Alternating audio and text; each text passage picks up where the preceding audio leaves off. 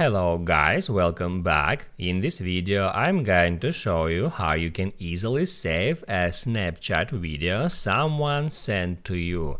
Be sure to watch the video to the very end so you don't make any mistakes and of course do not forget to like this video and subscribe to my channel. So let's begin and uh, first off open up Snapchat app. Then right here, tap at chats icon to open up your chats list and then just uh, get into a conversation.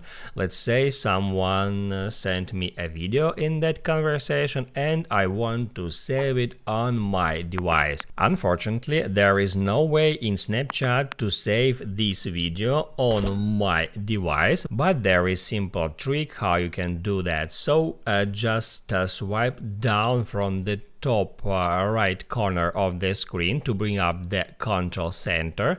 And uh, then uh, just tap at uh, this screen recording button. And after 3 seconds countdown it will start recording your screen. And then you can just uh, play this video and watch it to the very end. And then once um, the video has been finished you can tap right there at this um, uh, timer at this uh, time widget and then hit add stop. Then you can go to your phone's gallery open up the video that you have just recorded hit add edit and then you can trim it from the start and from the end in that simple way just by dragging it and then you can hit add done to uh, save this video also if we go back to Snapchat, it will say that you screen recorded this chat. That's how it works.